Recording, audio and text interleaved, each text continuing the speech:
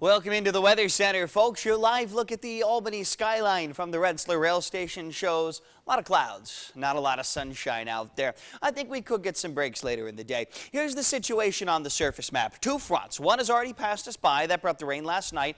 Another one is now trying to push in from Ontario and Quebec. Notice that out in front of it, there is a very, very thin, snaky band of showers pushing into the North Country and the Adirondacks. Let's go ahead and set Futurecast into motion. This is our high-resolution computer model trying to predict where that rain goes, and you can see it doesn't really hold together as it approaches us. Around 10:30, there'll be a couple blips on the radar, a few passing stray showers.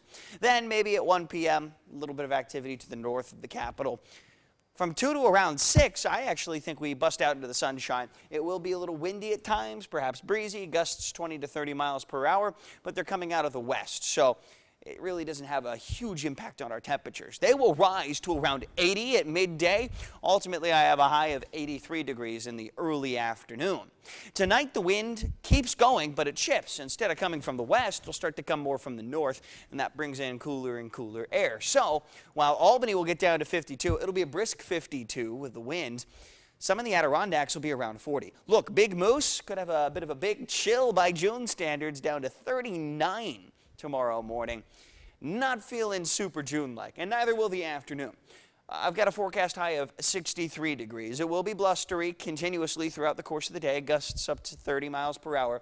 This will be about 20 degrees cooler than we are today, so it'll be a bit of a shock to the system out there. You might need the long sleeve. You might need the windbreaker out there. I won't tell you how to live your life, but just look at the forecast.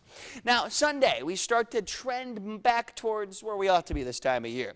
After a cool start, 47 even in Albany, we get back to 70 in the afternoon. Sunshine, nice weather for both Juneteenth and Father's Day.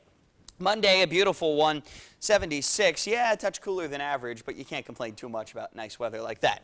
78 on Tuesday, Wednesday, back up to 80 with a chance shower. Thursday, back to sunshine with a high of 82. Guys?